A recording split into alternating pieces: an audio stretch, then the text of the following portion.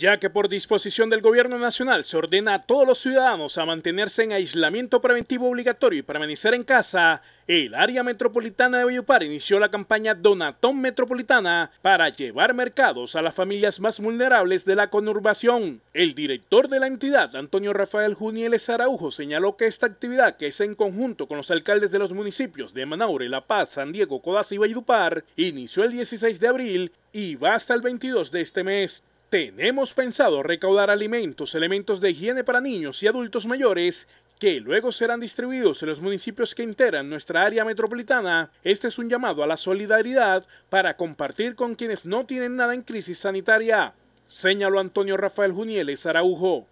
Quienes quieran contribuir a esta causa altruista pueden hacer sus donaciones contactándose a las líneas 314-803-7067 y 302 408-1299 o a través del correo electrónico dirección arroba areametrovalledupar.gov.co.